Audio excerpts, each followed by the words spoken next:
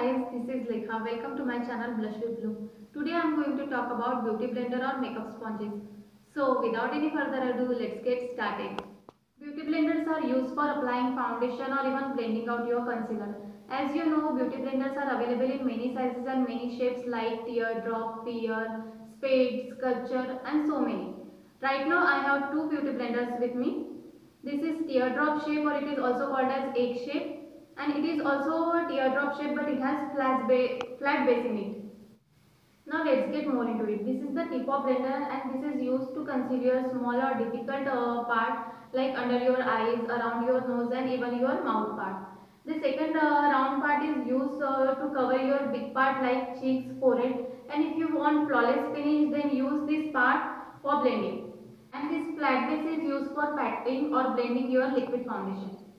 For flawless finish and to prevent excess foundation on your blender, we need to use wet or damp beauty blender.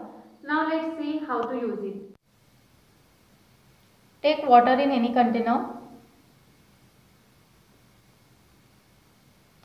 Soak your beauty blender in it well.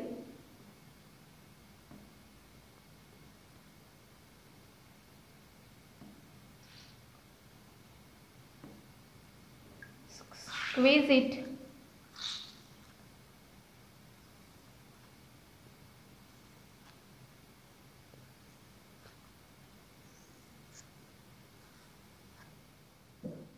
Now it is ready to use. You will see that it gets bigger in size. I will show you comparison of sizes here. And always remember to use it by bouncing it like this, not rubbing it all over your face. Guys, always wash your beauty blender after use. You can use any baby shampoo or mild shampoo to clean it. And make sure uh, it's fully dry before you store it back in its container to avoid bacteria and germs.